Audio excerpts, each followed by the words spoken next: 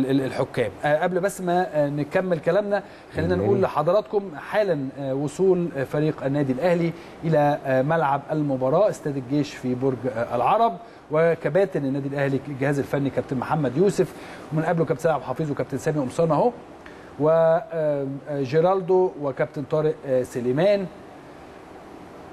وبقيه اللاعبين محمود وحيد واليو ديانج ومتولي ومعلول ورامي ربيعة.